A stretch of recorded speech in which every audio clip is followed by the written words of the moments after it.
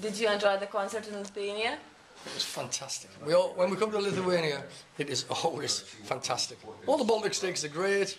Around the world has been fabulous for years now, and that was just another great gig. Can I ask him now? Uh, how you like our new place, our new venue? Oh, fantastic! What a lovely, lovely venue. Massive, and uh, yeah, the people filled the place. It was just, just beautiful tonight. Lovely, great sound. It was a fantastic concert. We've had a really good time here tonight. Yeah. Sounds. Playing with our uh, orchestra, Vilnius Orchestra. No, they drink all our whiskey.